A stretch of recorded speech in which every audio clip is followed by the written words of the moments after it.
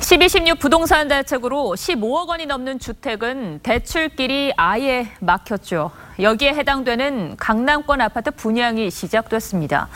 대출이 안 되는데도 견본주택에는 방문 예약이 이미 꽉 찼습니다.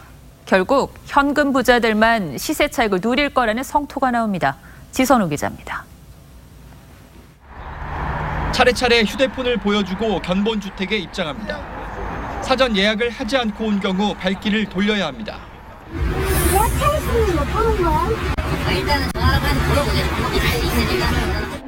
서울 개포주공 4단지 재건축 아파트. 관람객이 몰릴 것이 예상되자 하루 1,300팀으로 입장을 제한했습니다. 전용 84제곱미터형 이상은 모두 15억 원을 넘어 1216 대책에 따라 담보 대출 자체가 안 됩니다. 그래도 주변 시세 대비 10억 원 가까운 시세 차익이 기대되면서 현금 부자들의 관심이 쏟아지고 있습니다. 사야 되는데 사기에 지금 사기 이거 이거보다 훨씬 가격 비싸잖아요. 조금이라도 싸게 살려고 온 거죠. 어제 청약 마감한 위례 신도시의 한 아파트도 5억 원대 시세 차익 기대감에 최고 213대 1 경쟁률을 기록했습니다.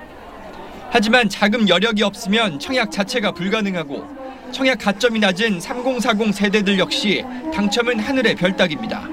30점 조금 아직 전략을 짜려고 하네.